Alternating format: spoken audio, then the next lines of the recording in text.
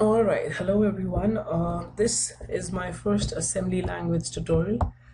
Uh, in this tutorial, I'm just going to be talking about some general stuff. Uh, I'm not going to be writing any code in this one, but yes, I am going to tell you stuff which you need to know before you start writing some real assembly language code. So let's get started.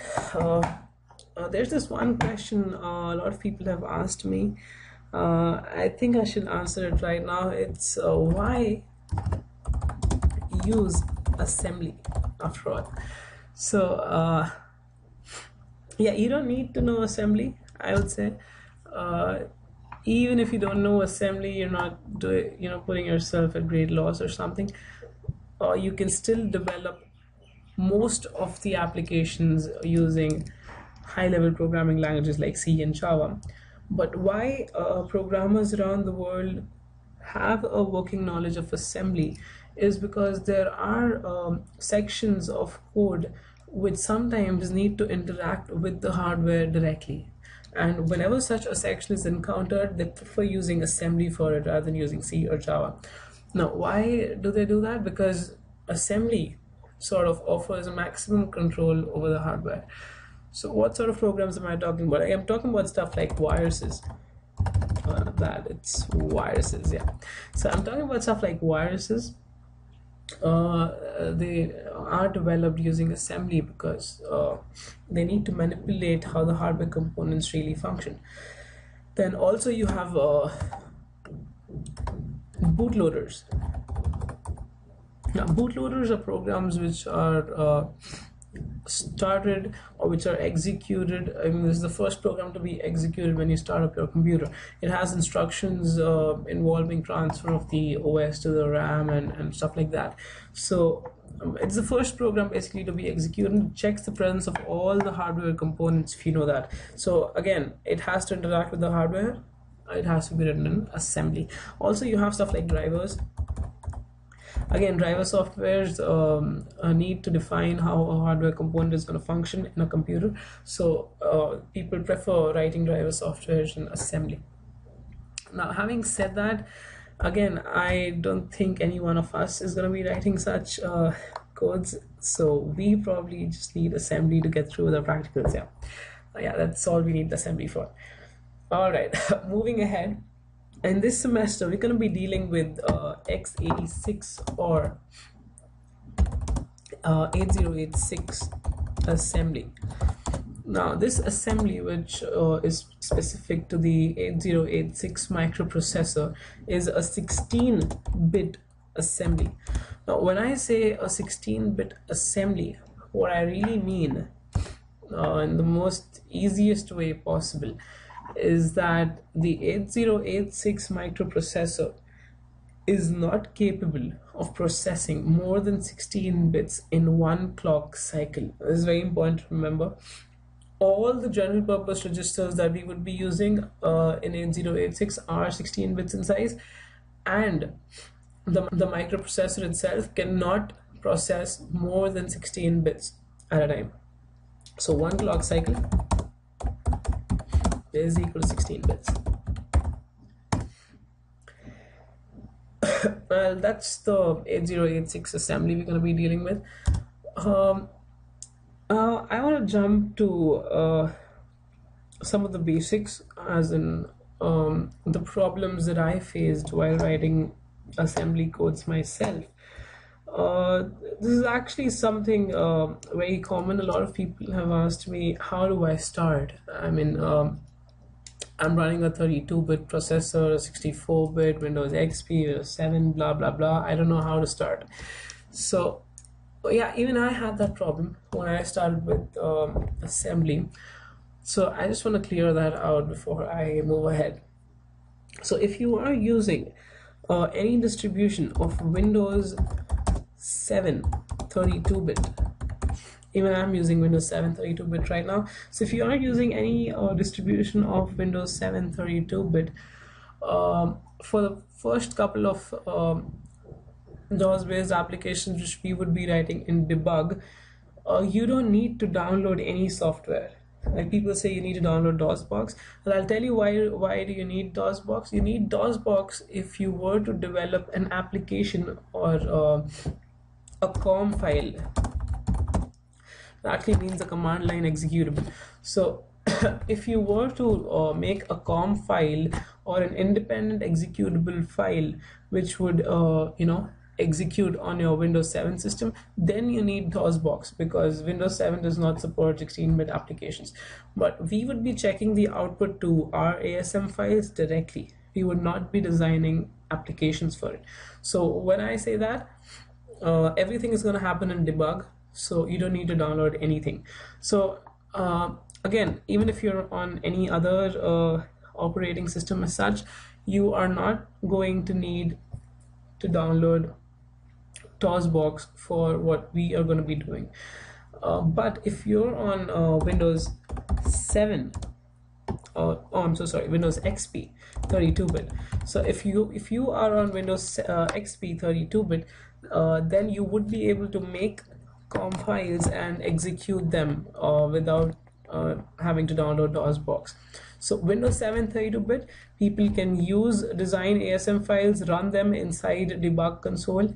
Windows XP 32-bit, people can uh, design COM files and make uh, executables, which uh, you know they can execute on any system whatsoever.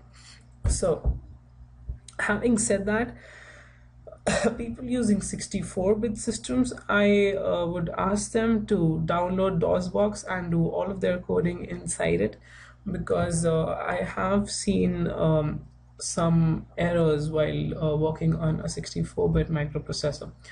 So uh, I'm not going to be discussing DOSBox in this one. Uh, if you all need it, uh, just let me know. I'll down I'll make another tutorial for DOSBox. Now moving on. Uh, so you just need your Windows 7 system working for our tutorials. for the first couple of programs, you'll be using debug uh, and after that we'll be using uh, TASM. Uh, I'll, I'll, talk more on that later. Uh, before that, uh, let me just talk about how uh, a basic assembly program is structured. So, we all know while working with assembly, the most important component is a register. So what sort of registers are there in the 8086 assembly we're going to be talking about? Well, we have eight uh, general purpose registers here. So what registers are, are there? We have AX, BX, CX, DX. I'm quite sure all of you all know this. Uh, we also have SI, DI, uh, BP, and SP if I'm not wrong yeah SP so this is the accumulator register AX BX would be your base register CX is your counting register I'll talk more on that later as in you need CX for your loops uh, in your program DX is your general data register um, SI the source index pointer DI destination index pointer you're gonna need those two while writing the move SP command uh, BP is the base pointer register and SP is the stack pointer register.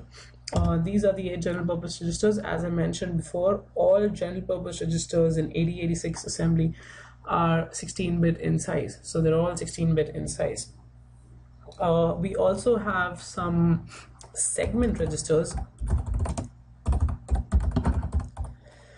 again not going to be uh, going into great detail about these registers you just need to know what segment registers are we have cs ds es and uh, ss so cs is current segment or the segment which is pointing to the current program whichever you're working on.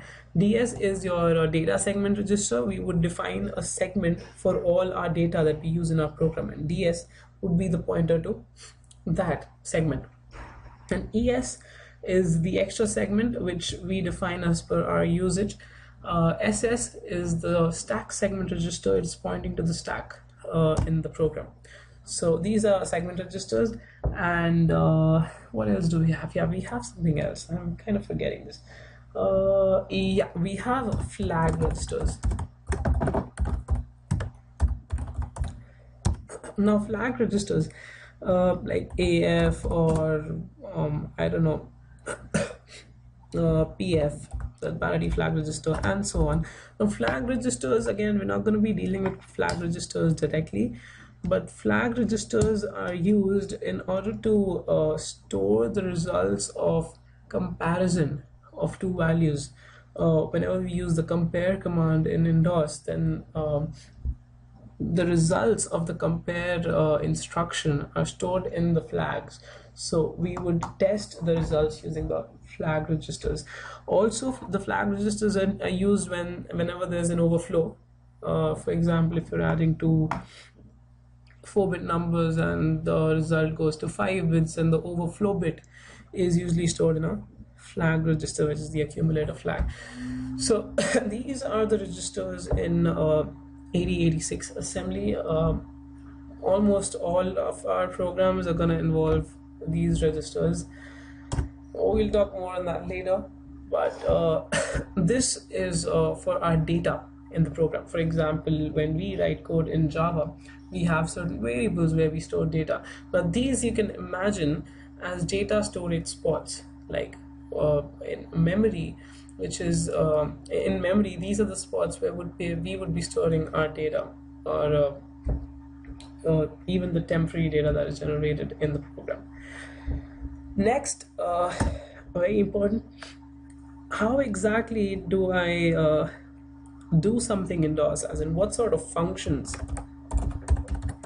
are there built in into uh, DOS now in DOS all the functions for example uh, a function to print something on the screen or a function to accept some user input or whatever the function may be there are obviously predefined functions in DOS but in in DOS we don't have names for that functions. We have function codes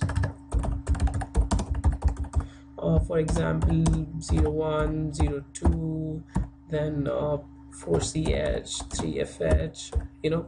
Now these sorts of codes all of these codes represent a particular function in dos. So it's very important that uh, you know uh, whenever i'm referring to these codes as function codes. So when i say uh, move uh, ah01h I am not exactly, I'm not at all moving the value 01h into AL, I'm moving the function uh, 01h into AL. So the, so the value here has no significance of its own. It, it represents a function. So it's very important to know whenever we be writing programs, uh, uh, we all should know that this refers to a particular function in DOS.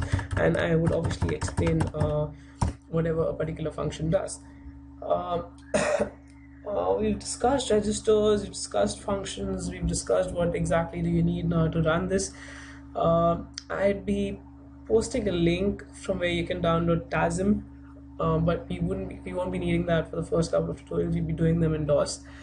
Um, what exactly is TASM? I'd like to clear up here. Uh, whenever we write a particular code, um, an assembly language code, obviously we're using mnemonics like move or uh, I don't know MVI or uh, what else do we have? Jump we have compare we have move sp all of these mnemonics need to be decoded converted into actual machine language or machine code. Now to do that we need an assembler. Now what debug does is it offers an assembler which uh, is is native to the operating system we're running. So it, it's sort of a built-in assembler that we have uh, debug in order to uh, convert our codes to machine codes.